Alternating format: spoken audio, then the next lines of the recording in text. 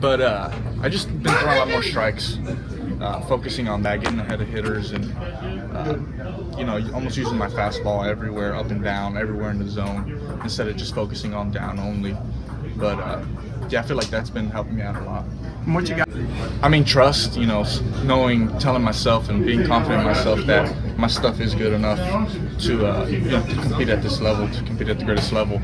Um, but yeah, I feel like that's going to carry me a long ways and help me out a ton.